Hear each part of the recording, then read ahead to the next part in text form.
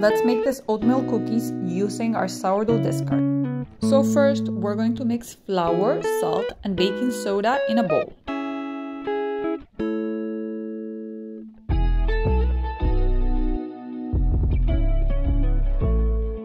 Now go ahead and mix the brown butter and cinnamon with the sugars, the vegetable oil, sourdough discards, vanilla extract, and the whole egg and egg yolks.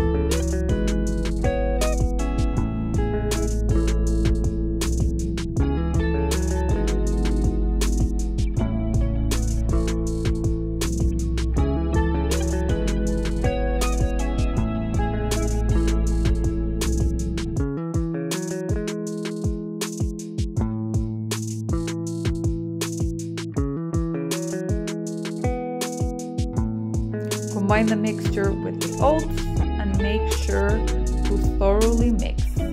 After this, we're going to add the flour, salt, and baking soda that we mixed at the beginning. Again, make sure that you thoroughly combine. Now it's time to shape.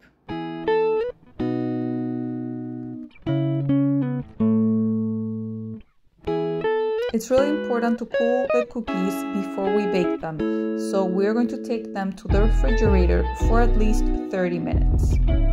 After that, we can proceed and start baking.